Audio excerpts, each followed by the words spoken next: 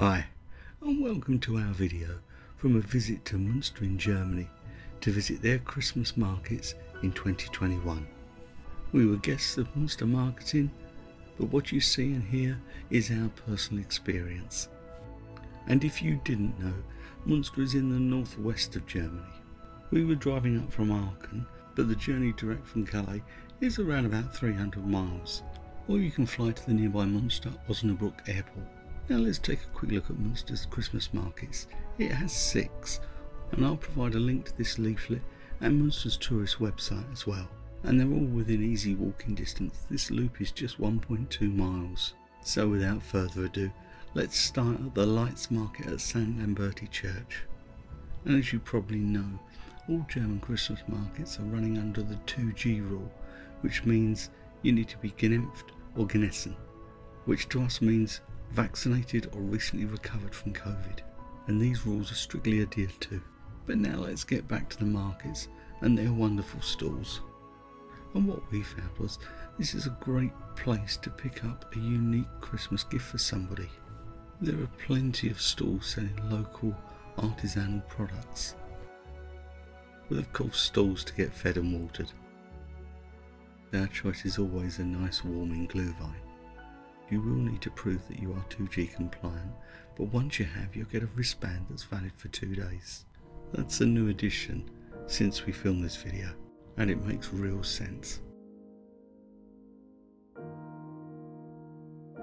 And I love the St. Lamberti church, but it does hold a dark secret. More of that later. As I said at the beginning, it's just a short stroll down Prinzipalmarkt to the town hall or rathaus and the next market, Munster's oldest and largest, the Weihnachtsmarkt. And as with all my pronunciations in this video, I can only apologise. And once again, this is a great place to get a bite to eat, although perhaps sanitise your hands after you've eaten, if you have a habit of perhaps licking up any juices. Oh, and an observation too. I think the folks of Munster have a bit of a sweet tooth. And as I often say, I feel the markets really come to life after the sun starts to go down.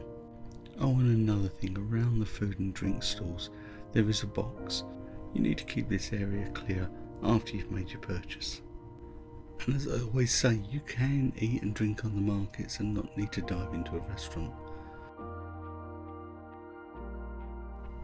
Once again, the markets are a great place to pick up something unique, and it doesn't have to be emblazoned with I love Munster. By the time you finish with this city, you just might.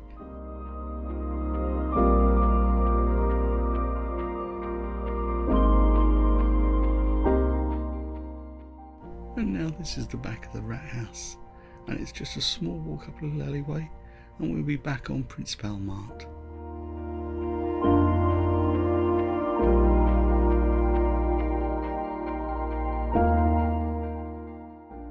And it's just a short walk from the Rathaus down to Domplatz, where you'll find Munster's Cathedral. And to the outsider, it's slightly surprising there's not a huge Christmas market here, but the answer is come back the next day, and you'll find it is a market, the city's regular market.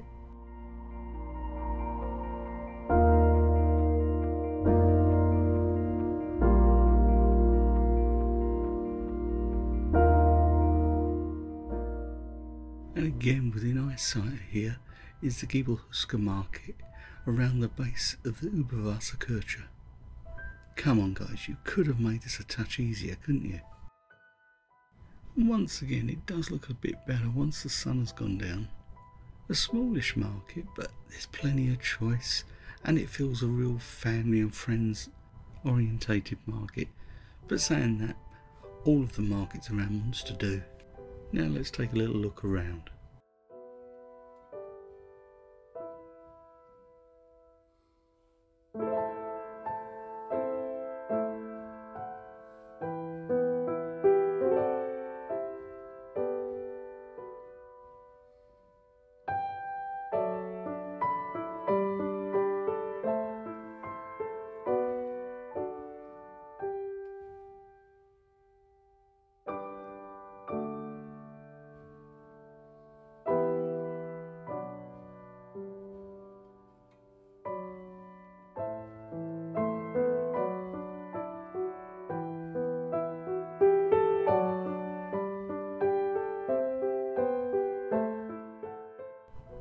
And once you've finished all that hard shopping, why not stop for a Glühwein at the very end? Under the church's quite impressive tower. But I'm good. I return a little later.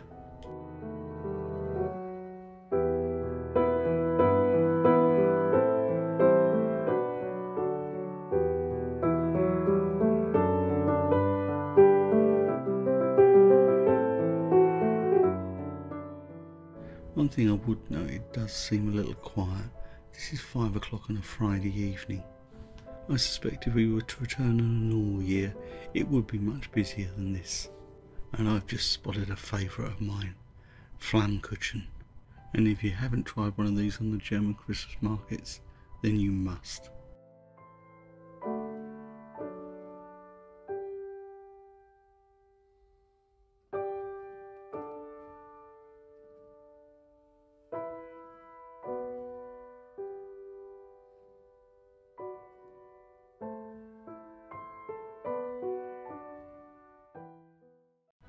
And another day. And I would recommend in spending two nights at Munster.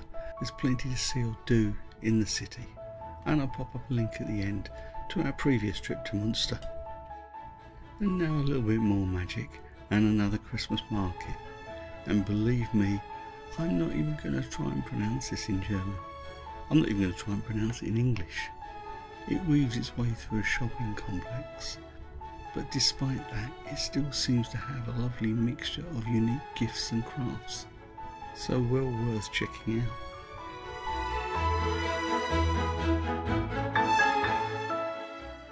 And our next Christmas market is the Christmas village around Kiepenkerl, and you've got to try the Glühwein here, enhanced with raisins and almonds. It's a fruity experience. I want a reminder all bars, restaurants, cafes are 2G. And we felt very safe as we travelled through Munster's Christmas markets, and we tested negative for COVID 19 on our return. And here's that Glühwein stall. You know I only drink it for research, don't you?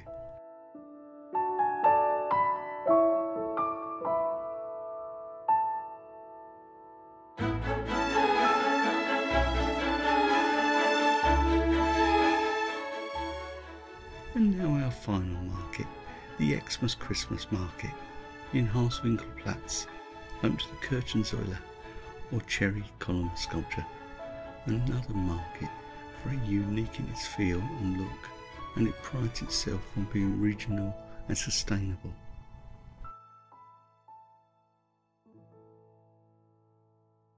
A short walk across town you come across the carousel and the Käthe Wohlfahrt pop-up store selling a range of traditional German Christmas decorations. Now let's take another look at Prinzipalmarkt, this incredibly stylish shopping street that runs through Munster. It's home to some very fine shops indeed.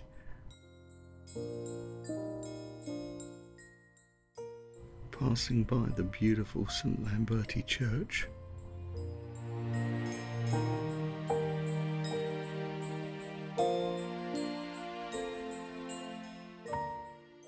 Christmas season is fully pedestrianised, as well as the lanterns are replaced by Advent wreaths. And now St Lamberti's little dark secret. See the three lights in the cages in the church's tower? The last resting place of the three leaders of the Anabaptist rebellion in the 16th century. But I don't think anyone cares about that now. It's just time to put on your Christmas hats and go out and celebrate Christmas. And can you see the band on the balcony of the Stadtweinhaus to the left of the Rat House? Well, they're keeping the people below entertained with renditions of traditional German Christmas carols.